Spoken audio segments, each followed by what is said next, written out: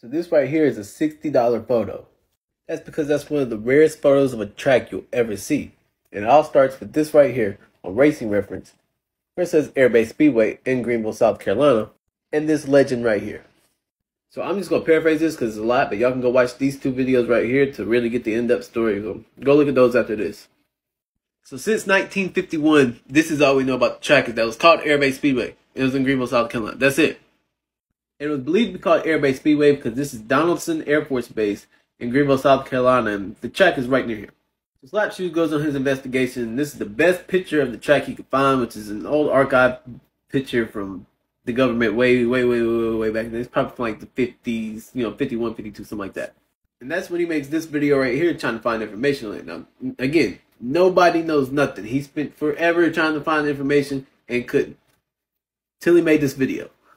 And what's crazy is to see that Bob Flock, Tim Flock, Buck Baker, Herb Thomas, like there's NASCAR legends in this race, but nobody knows when it happened, where it happened, what the track, nothing. There's no pictures, there's no documentation of any kind. So S1apsh0es makes the original video, puts out a bounty. He wants both a picture of the track and the track in action. That's when he gets this, and this, and this and somehow even this. And this track right here is to blame.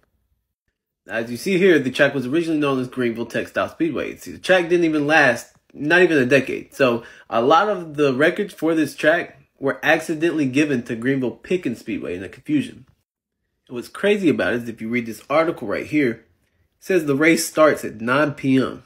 A race at night in the 50s. That's completely unheard of. I mean, this picket fence as a wall around your track was seen as bougie. Like, that's, that's just crazy.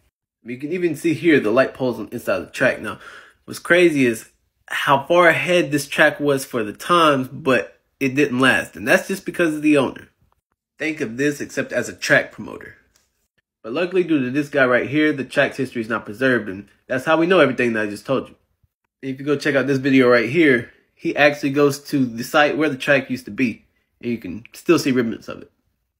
And so that bounty that was $60 was cashed in with this picture and the picture of those cars you've seen earlier on track.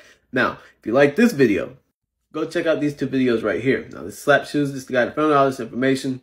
Go check them out. You'll love those. And that's the story of how a man found NASCAR's Atlantis.